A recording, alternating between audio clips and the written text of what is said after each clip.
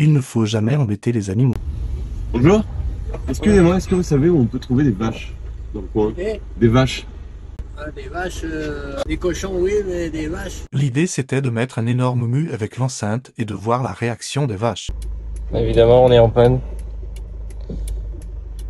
Si c'est un cardan, j'en sais rien.